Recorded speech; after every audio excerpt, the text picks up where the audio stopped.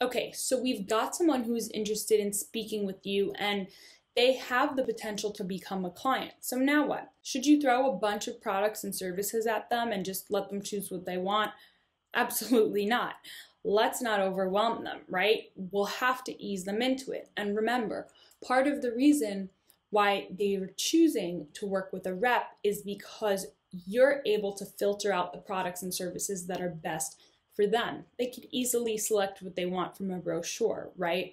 That's why they have you. So that's what this intro call is for. It's literally an introduction to you and the prospect. It's a chance for you to get to know each other better. Now, before we dive into the mechanics of an intro call, let's set the expectations of this call.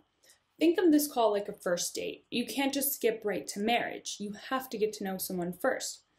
The intro call should typically only take about 15 to 20 minutes. Your objective in this call is to get to know the prospect a little bit more, understand their financial goals, wants, and needs, and for them to get to know you a bit more, right? The services that you offer and how the sales process will look. This is also an opportunity for them to trust you a little bit more. In this call, we're doing very little selling. In fact, if you're doing this call correctly, it shouldn't feel like you're selling the prospect at all.